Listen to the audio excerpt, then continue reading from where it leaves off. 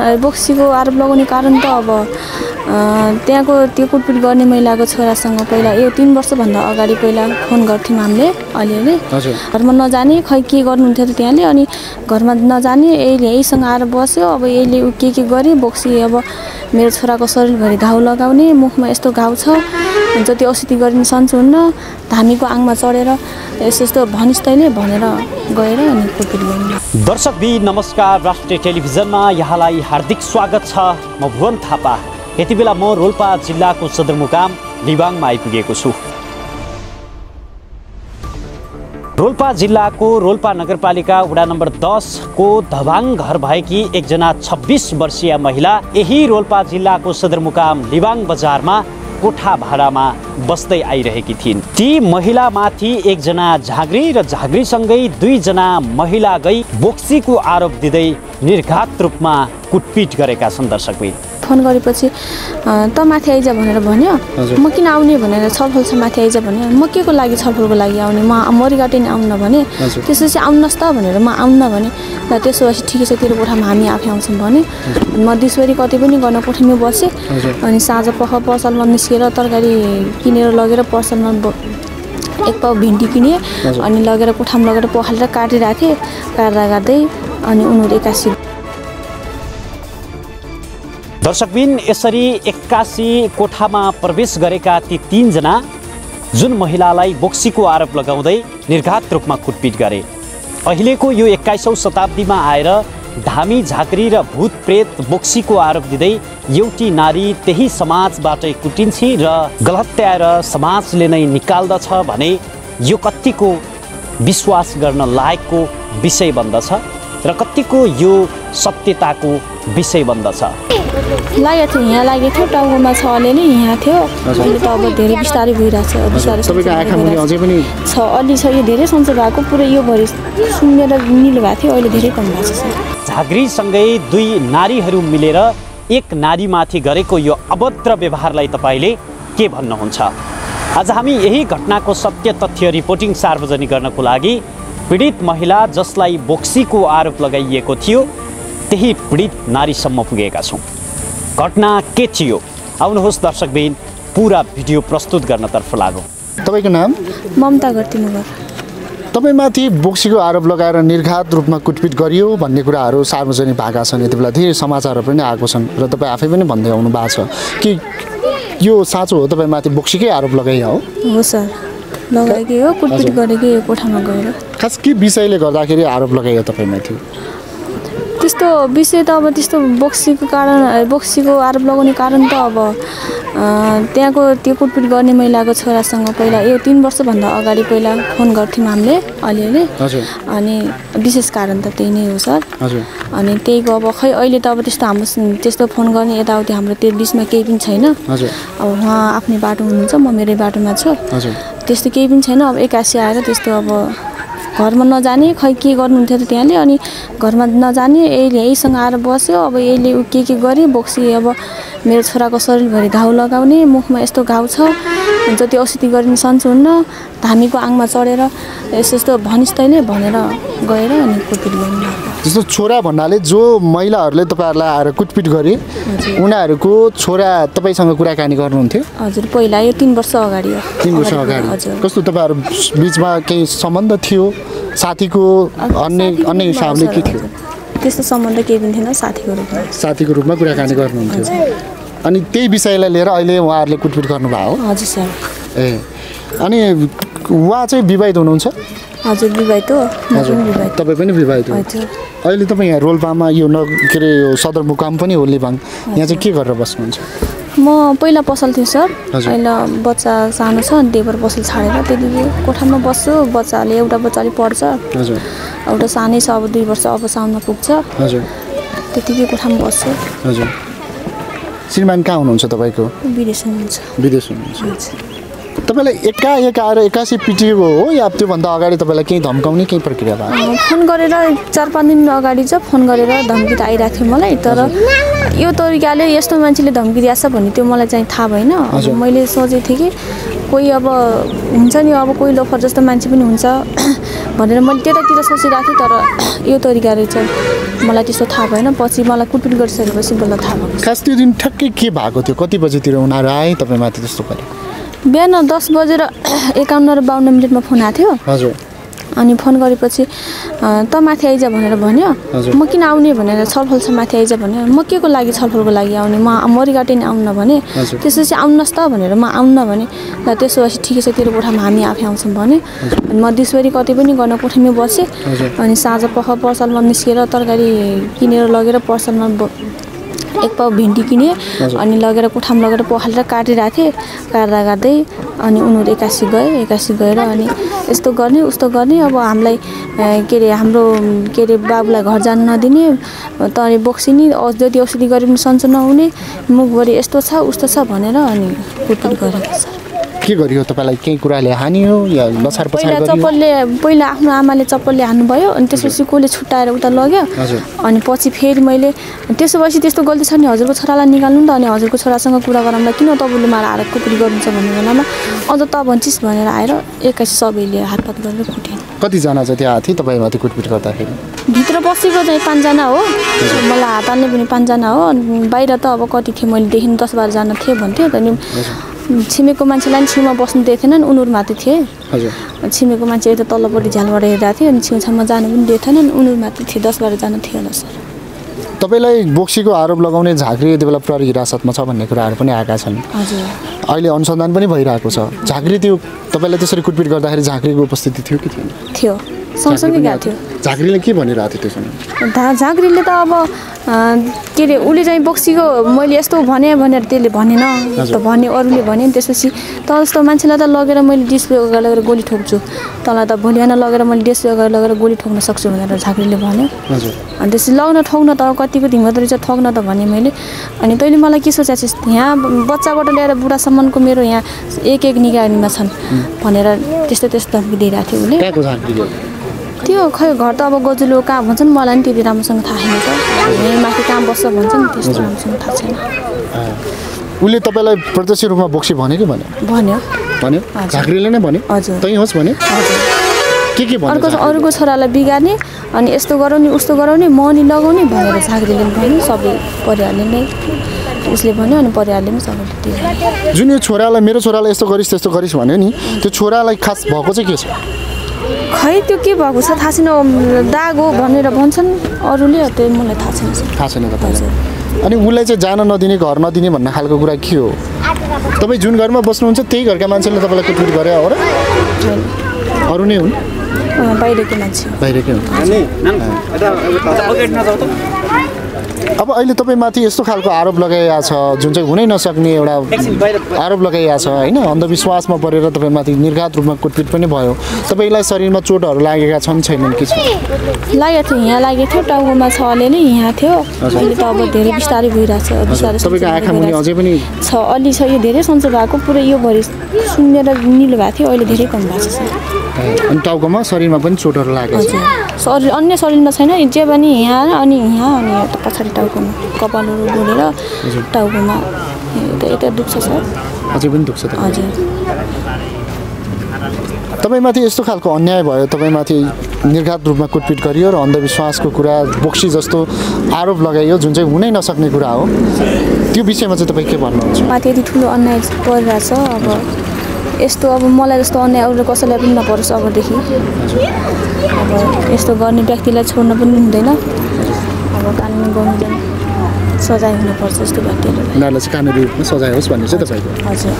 त्यो घटना चाहिँ छ गतेको रहेछ। हजुर। म त्यो बेला काठमाडौँ गएको थिएँ। हजुर। अनि घटना घटिसकेपछि पीडितले चाहिँ अब मेरो परिवारलाई जानकारी गराएछ यस्तो यस्तो भयो भनेर। हजुर। त्यसपछि अनि मैले जानकारी पाएँ। त्यसपछि मैले त्यस्तो छ भने मैले काठमाडौँ छु। म आउन सक्दिनँ आजको आजै। त्यहाँ महिला सेलमा गएर अनि निवेदन दर्ता गर भनेको। पछि मिले महिला सेलको बहिनी पनि त्यो डेलिभरी केस अथवा के यस्तै कामले गर्दाखेरि यहाँ हुनुहुन्न भन्ने कुरा आयो। अनि मैले यहाँको एउटा महिला एउटा अभियन्ता हुनुहुन्छ उहाँ श्री कुमारी भन्ने हुनुहुन्छ उहाँ बहिनीलाई फोन गरेर यस्तो यस्तो केस रहेछ तपाईँ त्यहाँ गइदिनु पऱ्यो के रहेछ बुझिदिनु पऱ्यो भनिसकेपछि उहाँले चाहिँ गएर घटना बुझ्ने क्रम काममा चाहिँ क्रममा जिपरका जानुभएछ। जिपरमा जाने क्रममा यो जुन पीडित महिला छ त्यो पीडित महिलाभन्दा पहिला पीडकहरू आएर निवेदन दिएको देखियो। ए के भनेर दिइरहेको निवेदन चाहिँ उहाँहरूले के भनेर दिनुभयो त्यो थाहा भएन तर चाहिँ उहाँहरूले निवेदन दिएको देख देखिसकेपछि हजुर। अनि पीडितले निवेदन दिने बेलामा तपाईँहरूले दिनु पर्दैन। नि पिडी निवेदन आइसकेको छ होइन? तपाईँहरू बसेर छलफल गर्नुहोस् भन्ने कुरो गर्नुभएछ त्यहाँ। त्यो गर्ने बेलामा अब पछि चाहिँ उहाँहरू जुन पीडक हुनुहुन्छ उहाँहरूले हामीहरूले पिटेकै होइन हामी जाँदै गएको होइन त्यो आफै लडेकी हो यो हो अब उसलाई चाहिँ दुनियाँ लाछीबाट लाएर उसलाई चाहिँ बदनाम गर्ने कामहरू भइरहेको रहेछ धेरै सम्झौता पनि नमानिसकेपछि मलाई चाहिँ त्यो बहिनीले दाइ यिनीहरूले मान्दैनन् यिनीहरू धेरै पटक चाहिँ जिपर्कामा आएको अब यिनीहरू चाहिँ एउटा समाजमा पनि त्यस्तै खालका व्यक्ति भएर भएको हुनाले उनले कसैलाई न एउटा चाहिँ न नमान्ने नटेर्ने होइन अब रवाब देखाउने पावर लगाउने कुराहरू जस्ता गरिसकेपछि ठिकै छ म आउँछु नि त त्यसो भए म आएपछि गरौँला अहिले तिमीहरूले। अहिले केही नगर नि त भन्ने कुरो भयो। त्यसपछि हामीहरू दस गते काठमाडौँ हिँड्यौँ एघार गते बिहान हामी यहाँ आइसकेपछि जिपर्कामा आइयो। जिपर्कामा हामी एघार बजी छिर्यौँ। एघार बजी छिरिसकेपछि सरहरूलाई भन्यो सरलाई हामीहरू आएको छौँ उहाँहरूलाई बोलाइदिनु पऱ्यो भनिसकेपछि। उहाँहरूले बोलाइदिनलाई फोन गर्नुभयो होइन? धेरै पटक उहाँहरूले कन्ट्याक्ट पनि गर्नुभयो उहाँहरूलाई। हुन्छ मात्रै भन्ने अब उहाँहरू नआइदिने। अथवा चाहिँ चारैतिरबाट फोन गरेर गराउन लगाउने अब राजनीतिक दलहरूलाई उनको आफन्तीहरूलाई होइन? अलिकति कुण्डले मुण्डलेहरूलाई अब चाहिँ फोन गर्न लगाइसकेपछि पाँच बजीसम्म उहाँहरू आउनु भएन। नआइसकेपछि हामी जिपरका भित्री गएर डिएस साहबलाई भेट्ने काम गऱ्यौँ। अनि त्यसपछि डिएस साहबलाई जानकारी गऱ्यौँ। यस्तो यस्तो भयो सर। के गर्ने भन्दाखेरि उहाँले जाहेर दिनुहोस्। मुद्दा दर्ता गराइदिन्छु भन्नुभयो। उहाँले त्यसमा सपोर्ट गर्नुभयो त्यो दिन हामीलाई सपोर्ट गरेकै हो। अनि उहाँले चाहिँ जाहेर दिनुहोस् भनिसक्यो हामी जाहेर लेख्न हिँड्यौँ। जाहेर लेख्न हिँड्दाखेरि हामीलाई एउटा समस्या के पऱ्यो भने जाहेरी लेख्ने मान्छे भेटाएन। भेटायौँ तर चाहिँ उहाँ कसैले नलागिदिने चार पाँच माहौल नै त्यस्तो माहौल त्यस्तो बनिसकेको थियो त्यहाँ। हामीहरूले जायले लेख्ने चाहिँ एउटा वातावरण नबनिसकेपछि एकजना अहिले मैले चिनेको भाइ हुनुहुन्छ। मलाई अनुरोध गरेर उहाँलाई चाहिँ त्यो जाहेरी लेखियो। जाहेरी लेखिएपछि हामीहरू जिपरका गयौँ। जिपरका जाने बेला उहाँहरू आइसक्नु भएको थियो। के उल्लेख गर्नुभएको छ? जाहेरीमा के उल्लेख छ भने हामीहरू जो पीडितले बोल्या छ झाँक्रीसहित गएर चारजना महिलाले कुटपिट गरेको जानलाई चाहिँ दस बाह्रजना गएको त्यहाँ कुटपिटमा संलग्न चाहिँ पाँचजना भनेर चाहिँ महिलाले भनिसकेपछि हामीहरूले नाम किटानीसहित होइन उहाँहरू चाहिँ जाहेर दियौँ। जाहेर दिएपछि तिनजना मात्रै समातेछ भन्ने कुरो आएको छ दुईजनालाई के कारणले अब छोड्या छ छोड्या छैन अब त्यो हामीलाई थाहा छैन। हामी जिपरका भित्र गएको पनि छैनौँ। मिडियाले भनेअनुसार अब एउटा धामी अनि सासु बुहारी दुईजना चाहिँ पूर्वपक्षको लागि हो कि अथवा त्यो कार के भन्छ त्यो हिरासतमा? कहाँ राखेको छ? अनुसन्धानका लागि राखेको होला भन्ने कुरा सुनेको छौँ। त्यसपछि हामीहरूलाई निरन्तर फलो गरेर ल तपाईँहरू चाहिँ साँच्चीको लागि आइदिनुहोस् भन्नुभएको थियो। बिचमा हामीहरू काममा हिँड्यौँ। आज चाहिँ एघार गते हामीले जारी दिएको। अब हामी आज चाहिँ खास अ, साँची बस्नलाई पनि आएको हो। खास के पाउनुभयो तपाईँहरूले? बोक्सी नै भनेर लगाइया आरोप लगाएरै कुटपिट गरिया रहेछ या अरू विषय छ? बोक्सी नै भनेर कुटपिट गरेर देखियो होइन? उसलाई पिट्ने त अब पिट्न गएको त बोक्सी नै आरोप लगाएरै गरेको छ। धामीसहित गएको छ होइन? धामीले पनि हातपात गरेको। छ। पीडितले भनेअनुसार होइन? अब हामीले आँखाले प्रत्यक्ष दिएको त होइन। तर पीडितले अब त्यसरी चाहिँ अब उसको बोलाइबाट पनि थाहा हुन्छ उसको चलाइबाट पनि थाहा हुन्छ होइन? उसले चाहिँ ढाँटेर उसले चाहिँ कसैलाई चाहिँ आक्षेप लगाएको जस्तो देखिँदैन। त्यो प्रत्यक्ष रूपमा उनीहरू जानुभएको छ संलग्न हुनुभएको छ। र पछि चाहिँ मैले प्रत्यक्ष रूपमा त्यहाँबाट साँझ पख भेटेर तपाईँहरूले यस्तो गल्ती किन गर्नुभयो भन्दाखेरि हामी मेरो गल्ती भयो भनेर चाहिँ भन्नुभएको हो। त्यसलाई हामीले मुद्दा जारी गरिसकेका थियौँ। ठिकै छ अब तपाईँहरूले हामीले के गर्ने कुरो भएन। कानुन अनुसार तपाईँहरूले कारवाही भोग्नुपर्छ। हामीहरू चाहिँ त्यही अनुसार अगाडि बढ्छौँ भने। त्यसपछि मलाई निरन्तर फोन आउने राजनीति दलका फोन आउने दुनियाँ साथीहरूबाट फोन आउने मिल्नुपर्छ साथीभाइले भने मान्नुपर्छ भन्ने कुराहरू त भइरहेका छन्। तर चाहिँ हामीहरूको भन्दा पनि अब उसको श्रीमान विदेश छ होइन? उसले के भन्छ भने जसरी भए पनि पीडितले न्याय पाउनुपर्छ मुद्दा चलाउनुपर्छ तपाईँहरू चाहिँ मिल्ने काम नगर्नु होला भनेर हामीहरूलाई दिनदिन टर्चर दिएको अवस्था पनि छ। चाहिँ ऊ चाहिँ यहाँ बस्न नसकेर उसलाई चाहिँ दिनदिनै मिल्ने जसरी मिल्नुपर्छ त चाहिँ के अरे चाहिँ समाजमा बसिसके सामाजिक हुनुपर्छ भन्ने जस्ता कुराहरू दिनदिनै गर्ने टर्चर दिने भयो हुनाले उसले चाहिँ माइत गएर माइत गएर बसेको थियो मतलब पहिला जहाँ बसिराख्नु भएको थियो त्यहाँ बस्ने चाहिँ सहज वातावरण नभइसकेपछि ऊ चाहिँ छोडेर प्युठान गएको थियो। मैले चाहिँ अब आज चाहिँ किटानी भन्नाले यो साक्षीको लागि बोलाएको हुनाले उसलाई आउनुपर्छ भनेर बोलाएको थिएँ। अनि त्यस बेला तपाईँहरू पनि आउनु भएको रहेछ होइन। यही संजोग पऱ्यो। म सरसँग जोडिन्छु। जस्तो आजको यो जमानामा आजको यो युगमा आएर यो टेक्नोलोजीले कहाँबाट कहाँ पुगिसकेको टाइममा एउटा अन्धविश्वासलाई लिएर बोक्सी भनेर निर्घात रूपमा कुटपिट गर्नु त तपाईँको बहिनीमाथि कुटपिट हुनु त सरासर अन्याय। अन्याय हो। अन्याय नै हो। तपाईँले के भन्नुहुन्छ? अब यो अलिकति मेरो बुझाइमा है यो रूढिवादी परम्पराका कुराहरू हिजो हाम्रो बाबुबाजेले विश्वास गर्थे होला नि तर आज हामीले गर्दैनौँ। यो सत्य कुरा हो। तर यहीको बिचमा पनि एउटा यो धामी झाँक्री गर्ने यिनी चाहिँ टुनामुना गर्नेहरूको एउटा खालको सञ्जाल आफ्नै छ। अहिले जहाँ यहाँ घटना घटाउने जुन पीडक धामी हो भन्ने मान्छे हो यो चाहिँ स्वच्छ मान्छे स्वच्छ छविको मान्छे चाहिँ होइन। किन भन्नुहुन्छ भने यही लिबाङ रोल्पा नगरपालिकाभित्र पनि यहाँ ठाउँ ठाउँमा मैले धेरै ठाउँमा बुझेँ। धेरै ठाउँमा यसले चाहिँ यस्तै खालका बोइस बोक्सी आरोप लगाइदिइसकेपछि उनी समुदायभित्र आपसमा बदनाम हुने डरले मिलेर बिस हजार तिरे पच्चिस हजार तिरे रेकर्ड यहीँ पनि छ। होइन? यस्ता अवस्थामा अहिले चाहिँ हामी आइसकेपछि हाम्रो अब यो नानीमाथि भएको अन्यायलाई हामीले चाहिँ सहनु हुँदैन। भन्ने हिसाबले हामीले नानीलाई पनि अब दुई चार दिन हामीले पनि बुझ्ने गऱ्यौँ कि अब कुनै कारणवश तिमी गरेर त छैनौ भन्ने खालको बुझेर हामी चाहिँ उसलाई चाहिँ हाम्रो तर्फबाट पनि टर्चर गऱ्यौँ होइन? अब भोलि हामी अगाडि बढिसकेपछि हामी दोषी पाइयो भने त झन् नराम्रो हुन्छ भन्ने हिसाबले हामी चाहिँ डिक्लियर भइसकेपछि हामी चाहिँ साँच्चै भन्दा यो यो चाहिँ नानीमाथि अन्याय नै छ भन्ने हिसाबले हामी चाहिँ जाहेरी दिन आएको जाहेर दिनुभएको छ। भनेपछि त सकेसम्म सकेसम्म मिलाउँ भन्ने हिसाबले नै आएको हो। हामी वेट गऱ्यौँ। वेट गरेर पर्खिँदासम्म उहाँहरूले टेर्नु भएन। विभिन्न खालका मान्छेहरूका फोन आउने मिल्नुहोस् भन्ने खालको अलि धम्कीजनक पनि खालका कुराहरू पनि आए आइसकेपछि। अब ठिक छ साँझ पाँच बजेको टाइममा डिएसपी साहबसँग सल्लाह गरिसकेपछि दिनाजुले जाहेर दिनुहोस् भन्ने कुरा भएर हामी चाहिँ जाहेरी लेखाउँ लेखाउँदाखेरि जाहेरी दिँदाखेरि पनि कति पीडा झेल्नु पऱ्यो त्यो हामीलाई थाहा छ होइन? आजको यो एक्काइसौँ शताब्दीको अवस्थामा आएर एउटा चाहिँ हामी जस्तो शिक्षित मान्छेहरूले हामी जस्तो अलिकति युवा पिँढीलाई यो अन्याय यो समस्या पर्छ भने गाउँका सर्वसाधारण सिङ्गो नेपालभरिका कुना कन्दरामा बस्ने जनताहरू पनि अवश्य पनि यो यो कुरादेखि पीडित नै छन्। होइन हामीले यहाँबाट एउटा चाहिँ दोषीलाई सजाय दिलाउन सकियो। र चाहिँ एउटा चाहिँ कानुनले पनि सही फैसला गर्यो उसलाई चाहिँ सही चाहिँ सजाय दिन सक्यो। हदैसम्मको कारवाही गर्न सक्यो भने एउटा देशैभरि सन्देश पनि जाओस्। हाम्रो चाहिँ पीडित नानीले पनि न्याय पाओस्। यस्ता चेलीबेटीहरूले पनि न्याय पाउन् होइन? यस्तो खालको रूढिवादी परम्पराले तपाईँ हाम्रो समाजलाई ग्रस्तै पारेको अवस्था हो। अब अहिले टेक्नोलोजीमा विश्वास गर्ने दिनमा पनि फेरि फर्केर रूढिवादी कुराहरूमा पनि अल्झिराखेको अवस्था छ। हाम्रो गाउँ समाज योदेखि अछुतो हुन सकेको छैन। यसमा चाहिँ अब तपाईँहरूले पनि अलिकति पहल गरिदिनु पऱ्यो दोषीले सजाय पाओस् होइन? त्यो झाँक्री दिन आउने मान्छे कहिले आएको थियो त्यो त थाहा भएन होइन। उसले आइसकेपछि नम्बर दिएर आएछ दिदीको। नम्बर दिएपछि त्यो झाँक्रीले फोन गरेर धम्काउने ओर्ने।